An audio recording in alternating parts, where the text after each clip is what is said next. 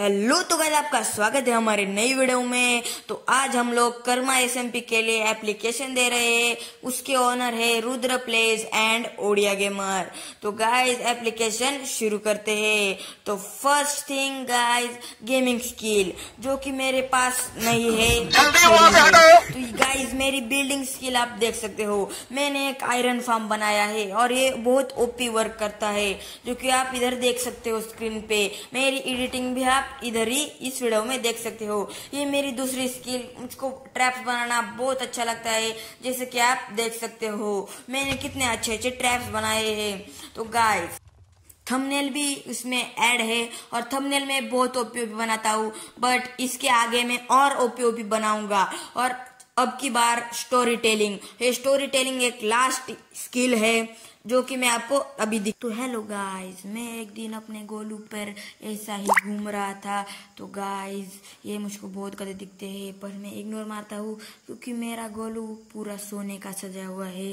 जैसे कि आप देख सकते हो, सोने का है भाई मेरा घोड़ा।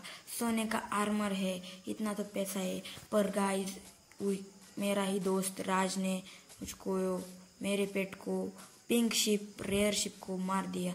मेरे पेट, बाबू को इसने मार दिया। तो गाइस इसका रिवेंज लेना तो मुझको बनता ही है। तो गाइस ये इधर आप देख सकते हो, ये मेरा घर है।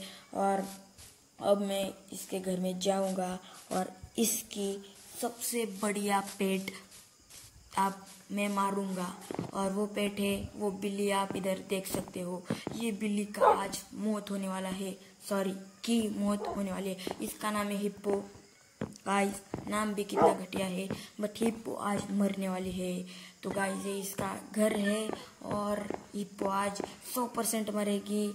तो गाइस इसी के साथ ये हिप्पो का काम तमाम होता है।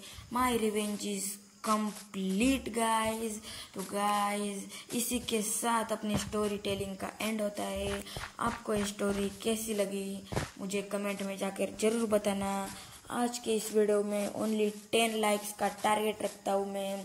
और ज़रूर ये वीडियो मेरी रुद्र प्लेस और ओडिया गेमर देख रहे होंगे। आज के इस वाले वीडियो में इतना ही। मिलते अगली वीडियो में। Bye bye